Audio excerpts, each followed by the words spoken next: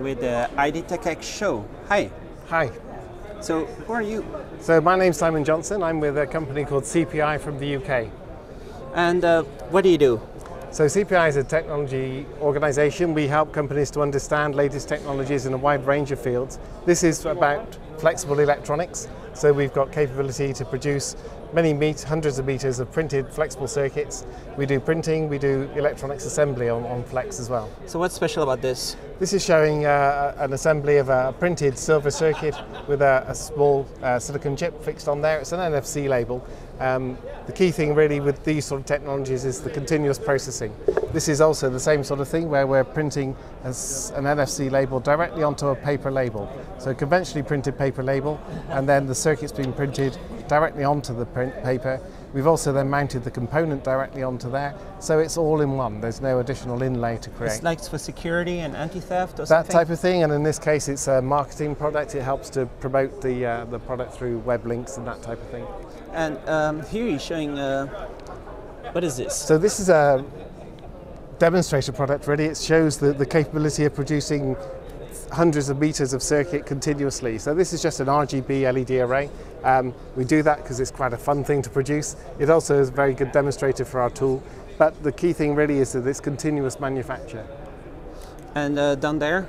Down here we've got some smart pill packs and we've got a, a, an intelligent blister pack that can record when your um, tablets are being taken, does that autonomously. Uh, we've also got some embedded electronics embedded inside a carbon fibre composite here showing uh, wirelessly powering circuits within carbon fibre. Um, there's a lot of more demos around here also? Yep, so these are more blister packs. So every time you pop a pill in this one, um, the electronics here will record the, the time at which the pill was taken. And then finally, you can tap your phone on there, and then the data uh, about when you took your tablets is transferred to your, your doctor.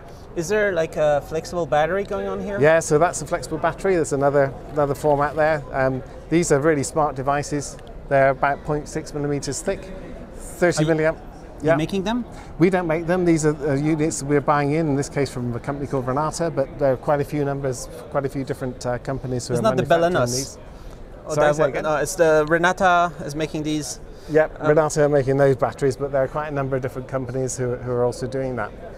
All so right. we do we do the assembly, we do the design, we do the print, and all those sort of requirements for these sort of devices. All right, and uh, here the, on this on the screen, uh, it's showing some of the behind the scenes, what's happening. It is. So yeah, where yeah. are you based? So we're based in the north. We're based in the northeast of England. Um, we have uh, five different buildings that we're, we're, based around. We have a wide range of different technologies in those buildings. We've got about 450 people in the company. And you partner with some of the companies around here, right? Or many we, of them? We do. We do a lot of collaborative R&D programs. We do commercial work, and we also have funded programs that we, we work on. So, for example, I think you work in Pragmatic.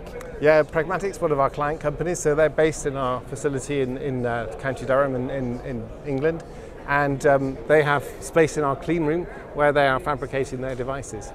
So is it's not just uh, prototyping and demos and stuff, it's mass production of stuff also? It, it's prototyping but at the mass production scale. The aim is to show scale up and how you can go from a handful of devices to 10,000 or 100,000. Ultimately, we won't do the manufacture, we'll work with other companies to do that, but we help to prove the process and prove the route to doing that.